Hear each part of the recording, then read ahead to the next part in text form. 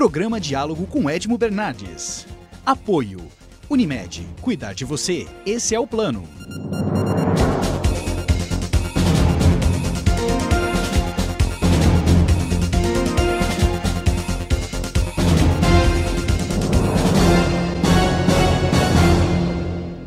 Olá, boa noite. No programa de hoje eu recebo Professor Ronaldo Mota, reitor da Estácio Universidade e ex-ministro, chegou a, a, tantos cargos, mas também ex-ministro interino da Educação. Professor, muito obrigado por atender o nosso convite e estar aqui conosco debatendo um pouquinho. Prazer meu estar aqui. Eu vou debater educação, mas antes eu queria dar uns, uh, um, um, uns dados sobre a Estácio. É uma universidade monstruosa, né? Eu estava é, investigando pelo site da universidade, 98 cursos de graduação, pós e MBA, mestrado e doutorado, cursos livres, cursos técnicos, academia do concurso. É um. Como é que toca isso aí? Olha, a, a, dificuldade não é a quantidade, a quantidade tem seu mérito, mas a maior dificuldade, o grande desafio é conjugar quantidade com qualidade. Quer dizer, nós acabamos tendo um país um tanto quanto estranho, né? um país que sabe fazer coisas para muitos e sabe fazer coisas boas mas que tem uma terrível dificuldade de fazer essas duas coisas ao mesmo tempo. Ou seja, você conseguir fazer coisas de qualidade para muitos. E eu acho que essa é a principal tarefa que a gente tem. Quer dizer, não basta ser grande, é preciso ser grande e preservar a qualidade, aumentar a qualidade. Eu diria mais, o, na área da educação hoje, a gente vive uma situação tanto quanto peculiar. Eu diria que para você crescer qualidade, você precisa ser grande. Isso está embutindo uma realidade das tecnologias digitais. Elas demandam ser grandes para que consigam ser com qualidade. Ah, ser com qualidade, como homem de comunicação, eu hoje eu vejo as, as universidades, inclusive a Estácio, é, com propostas, não aquela é, desconto ou bolsas, que inclusive consta nos sites das, de várias universidades isso. Uhum mas quando se coloca desconto é, de X% ou em parcelas, não passa uma identidade, não sei, não, não pode passar perigosamente uma identidade de comercialização da educação e do ensino? Pode, dos dois lados. Sim. Ou do ponto de vista negativo, né? porque se confunde às vezes com outros produtos e serviços que não têm o mesmo mérito de educação mas eu diria o oposto também. Quer dizer, hoje nós vivemos um nível de acessibilidade à educação nunca visto. Quer dizer, hoje se consegue ter acesso a uma educação de qualidade por mesmo pessoas que tipicamente no passado não a tinham. A Estácio ela tem um nível de complexidade muito grande, é difícil imaginar que nós temos perfis exclusivos de alunos. Não temos, nós temos alunos das mais variadas faixas etárias, das mais variadas classes sociais, mas temos sim uma dominância. Talvez não exatamente até em Ribeirão Preto, mas se pensarmos a realidade nacional nas grandes metrópoles, ele tipicamente é alguém que trabalha durante o dia, que se formou no ensino médio há um bom tempo, que teve que terminar o ensino médio e trabalhar no escritório, em qualquer outra atividade comercial ou industrial, e percebe que ele não irá adiante na sua vida pessoal, na sua vida profissional, se não fizer um curso superior. Corroborando o que o senhor está falando, o gargalo educacional do Brasil, é, dos 10 milhões de brasileiros com idade entre 15 e 17 anos, uh, apenas metade está matriculada no ensino médio. Pois é. Ou seja, é o pré-faculdade, e se Sim. ali já acontece é, aqueles, aqueles uh, motivos que é o abandono da escola. Aí, nesse caso, vem aqueles casos é, de é, 61% querem voltar à escola e concluir o ensino médio. Isso. 58 já repetiram de ano, 33 estão em busca de trabalho e 32 dos que trabalham consideram o diploma a principal razão para a escola. Quer dizer, eles querem vir para a escola, ah, mas não têm condições de ir. E não tem condições por vários motivos. A questão financeira é uma delas. A outra pode ser simplesmente que o sujeito mora em um local, que haja oferta de ensino superior, mas os cursos que ele gostaria de fazer ou estão em horários que não são compatíveis com a sua vida de trabalho que ele precisa manter, ou estão em regiões geográficas que ele não tem acesso físico de chegar até lá. Então, o fato da Estácio ter um nível de capilaridade, ele está em todos os lugares, tem uma, um leque de oportunidades muito grande. É, os cursos são os mais variados, quer dizer, desde um curso de tecnólogo em gestão de recursos humanos até um curso de medicina, quer dizer, é, a gente atinge praticamente todas as áreas e indistintamente todas as classes sociais. Eu chegaria a afirmar, espero que meus colegas da Estácio não me recriminem por isso, é, a gente pode dizer que raramente, talvez nunca, tenha tido alguém realmente querendo estudar que chegue na Estácio e diga assim: olha, eu quero estudar e não tenho dinheiro. Eu não sei como, mas se resolve. Porque ninguém pode deixar de estudar por falta de recursos. Olha, é muito peito seu falar isso em público numa câmera de televisão. Mas hein? é verdade. É, sempre vai se achar uma solução. Existem soluções para os mais variados casos.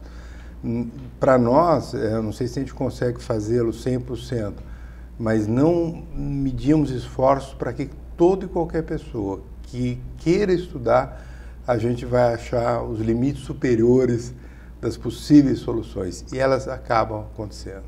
Professor, é, alguns anos atrás eu discutia com alguns é, coordenadores pedagógicos de ensino fundamental e médio com relação à responsabilização pela educação é, em que os pais é, de, de, alunos jogam para a escola a, a, responsabilidade pela educação do filho, que é completamente equivocado, a situação é completamente equivocada. Hoje eu sinto que espera-se que a educação resolva-se os problemas sociais do Brasil. É. O senhor que esteve lá à frente do Ministério da Educação me diz isso. É, a gente tem talvez uma inapropriada superestimação, superdimensão do papel é, de um Estado, às vezes um tanto quanto abstrato. Quer dizer, aquilo que eu não resolvi na minha casa, aquilo que eu não resolvi nas minhas vizinhanças, aquilo que eu não resolvi no meu espaço familiar, no meu espaço de trabalho, eu responsabilizo o Estado. Não é tão errado, mas certamente não é correto, ou pelo menos não diz toda a verdade. Quer dizer, a, a há um conjunto de atores e todos eles é, estão presentes. Não há solução para o Brasil sem educação, mas não confunda não haver solução para o Brasil sem educação com educação ser responsável por resolver tudo. Educação não é responsável por resolver tudo. Quer dizer, nós somos um dos países, talvez na dimensão do Brasil, o mais perverso socialmente, ou seja, nós temos uma distância entre as classes mais abastadas e as classes populares desproporcional, absolutamente desproporcional. Eu estou me referindo a países capitalistas, onde a distância entre os que têm mais e os que têm menos certamente são muito menores do que do é, Brasil. É, é a mesma condição que o submundo da, da economia de países africanos, por exemplo. É, e o que acontece em lugares como esse? São locais pouco competitivos, porque quem está na camada de cima tem pouca motivação para se, se aprimorar. Porque ele já está na camada de cima, então ele torna-se progressivamente muito, vamos usar a palavra genérica, que não aplica a todos, mas preguiçoso. É como se a gente tivesse uma elite um tanto quanto preguiçosa. E temos um conjunto de classes populares que não, não lhes é dado nenhum tipo de possibilidade de efetivamente contribuir para um desenvolvimento sustentável. Então, uh, todos os países têm problemas, mas o Brasil se não enfrentar esse nível de desigualdade absoluta, né, que é fortíssimo, nós não vamos ter solução. E aí sim, a, talvez a melhor ferramenta para enfrentar isso seja educação. Quer dizer, mais do que qualquer outro estímulo, se nós pudéssemos conferir a todos não os mesmos recursos, é absolutamente natural que alguns tenham mais e outros tenham menos, faz parte da natureza humana e dos modelos que a gente adota Agora, não é igualmente correto que as pessoas já nasçam com tão díspares níveis de oportunidades.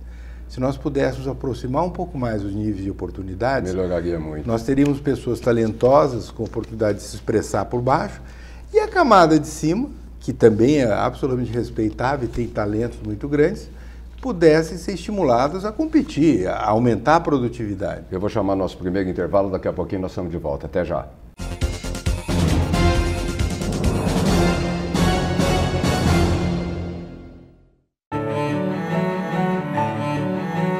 Fomos gerados na mais bonita das esperas.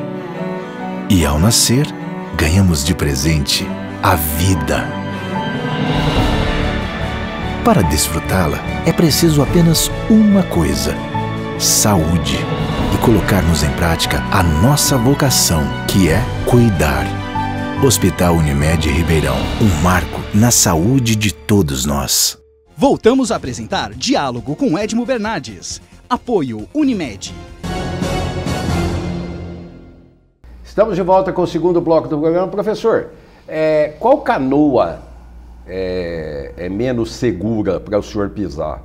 A do Ministério da Educação ou a da universidade privada? O senhor que esteve dos dois.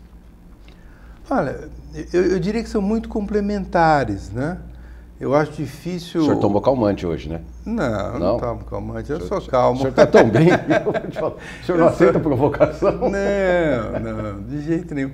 Na verdade, eu sou aposentado de uma universidade pública federal, então eu tenho uma experiência é, enquanto docente de universidade federal. Passei depois nove claro anos brincando. em gestão, né, gestão é, pública federal, e estou mais de três anos, três anos e meio no setor privado, né? E eu, o que eu percebo é que em todos eles o que está mediando né, as relações é a educação. O, o, antes de gostar de setor público ou privado, eu gosto de educação. Então, em qualquer um deles, eu vejo o prazer que é a gente poder trabalhar numa área que as respostas existem. Mas me dói, senhor, me permita, não, não estou pedindo a sua opinião, mas me dói o fígado quando eu vejo Mendonça Filho à frente do Ministério da Educação. Bom, é, segundo o PISA, o Brasil ocupa o 53º lugar em educação é, entre 65 países avaliados. Meu Deus do céu. 53 de 65. É ruim, hein? É, mas é um, o PISA é um programa internacional. É um programa internacional do CDE, muito é. bem feito. Eu acho que isso aí retrata uma coisa que é muito ruim. Mas, mas que é uma realidade. É uma realidade, mas eu diria não é toda a realidade. Hum. Não é toda a realidade. Claro. Eu acompanho com algum cuidado o PISA, acompanho a postura de vários países sobre o PISA e ele talvez meça coisas que a gente não perceba que está medindo. Uhum. Quando um exame como o PISA é aplicado em países como Coreia, Singapura, Hong Kong, a própria Finlândia, aquilo é, representa muito. Então há todo o envolvimento do país, dos professores, dos gestores, dos alunos, os quais respondem os questionários com um cuidado extremo. Uhum. O que acontece quando isso é aplicado em países como o Brasil? O aluno responde com total desinteresse, desestimulado, mesmo sem disciplina. Então, é verdade que os nossos alunos, é, em geral, têm um problema de letramento. O letramento que eu me refiro aqui é capacidade de interpretar texto, capacidade de escrever texto, de letramento matemático, de operações básicas. Uhum. Mas mesmo que nós não o tivéssemos tão grave, mesmo que nós não o tivéssemos tão grave, e temos, num exame como o PISA ele apareceria grave porque ele embute, por exemplo, esse aspecto da motivação, da disciplina, que, obviamente, países que competem por isso, como é o caso de Coreia, Japão, Hong Kong, Singapura. A distância é muito grande, né? A distância do conhecimento e a distância do interesse na disciplina. Ainda Nós que trabalhamos com educação sabemos que o resultado de um exame ele depende, no mínimo, de dois grandes centros. Primeiro, o que o sujeito efetivamente sabe e qual o interesse que ele está colocando naquela prova. Nós temos os dois problemas. Os nossos alunos sabem menos do que deveriam saber e o desinteresse deles é absoluto.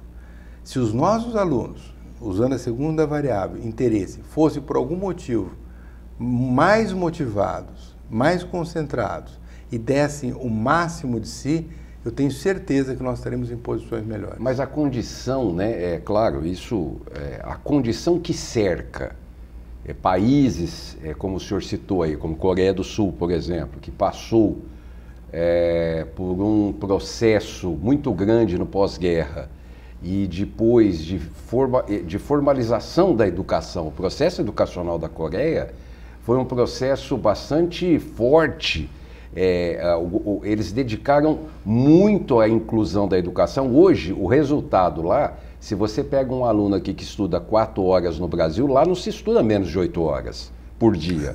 Mas aí, eu, eu disse para o senhor a condição que cerca. É, subnutrição, geografia no que diz respeito a moradia e transporte, é, trabalho, é, é, subemprego, é, falta de poder econômico, tudo isso cerca tirar o aluno da escola ou desmotivar e desinteressar o aluno da escola. É, nós temos alguns estudos no INEP que mostram dados muito interessantes. A maior correlação entre o aluno ir bem, mais do que renda familiar, mais do que qualquer outra variável, a principal variável, curiosamente, curiosamente não, isso é conhecido, né? É a escolaridade dos pais. Ou seja, se os pais são escolarizados, a tendência do aluno é ir bem na escola. Se os pais não têm escolaridade, a tendência dele é ir mal. Então, países como a Coreia e Japão fizeram uma revolução educacional no começo do século passado. Portanto, nós estamos falando de alunos cujas mães e pais têm efetivas condições de, em complemento à escola, é, conferir a esses alunos melhores oportunidades. Nós. Se não por parte de pai e mãe, pelo governo. É, mas o papel do pai e da mãe, especialmente na educação básica, é muito relevante. Então, nós precisamos ainda fazer uma revolução e diria em alguma medida meio, meio atropelando, mas nós estamos fazendo. Quer dizer, o nível de acesso à escolaridade, tanto a básica como superior, o Brasil tem crescido muito. A gente pode, e com razão, questionar que a qualidade ainda é sofrível. Mas nós, é, comparando uma geração com outra, certamente parte disso nós estamos fazendo. Nós temos muito mais pais escolarizados gradativamente e a gente tem certeza que isso pode ter um reflexo positivo. Claro, vai depender de um conjunto de outras circunstâncias do país. É, é o que eu falei, as circunstâncias às vezes não favorecem e aí não adianta a gente querer, e, mas enfim, tem que tentar. Daqui a pouquinho a gente está de volta. Até já.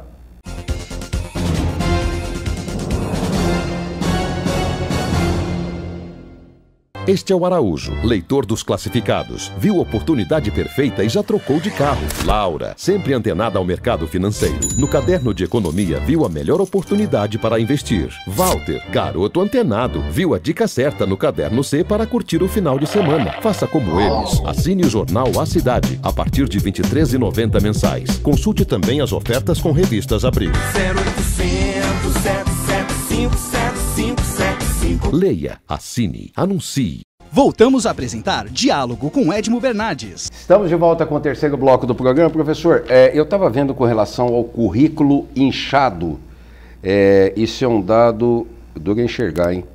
É, não consigo enxergar. Bom, são três disciplinas obrigatórias, além de conteúdos complementares obrigatórios a ser ministrados durante as aulas. Linguagens, língua portuguesa, materna, mas nas populações indígenas, língua estrangeira moderna, definida pela comunidade escolar, artes cênicas, plásticas e musicais, educação física e matemática. Uhum. Essas são as seis em todos os cursos. Em ciências da natureza, biologia, física, química, ciências humanas, história, geografia, filosofia e sociologia e com conteúdos complementares. Esse alicerce, o senhor julga é, bem interessante, a, pelo menos a proposta que é colocada pelo, pelo sistema educacional brasileiro?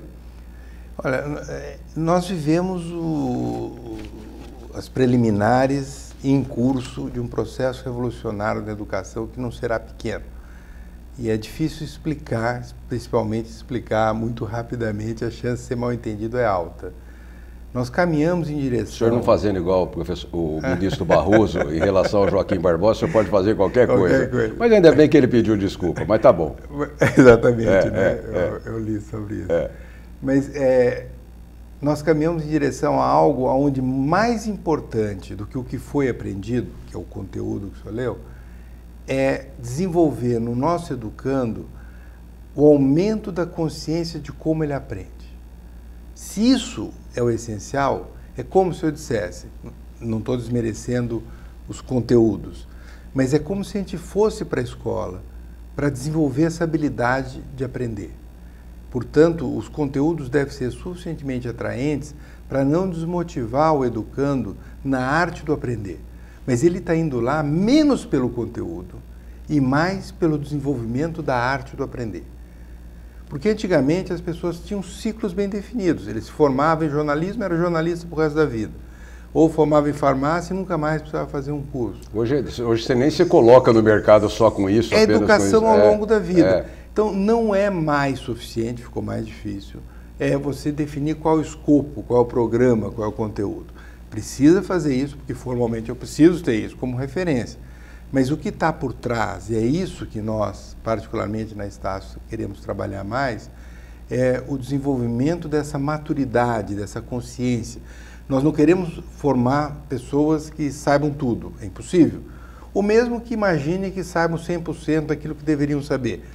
Mesmo que eventualmente ele saiba um pouco menos, a gente quer que ele saiba aprender a aprender continuamente. Mas tem os objetivos pessoais, né? É, se nós partirmos, é, por exemplo, é, da, da, alfabetização, é um objetivo. Depois, a continuidade escolar é outro objetivo.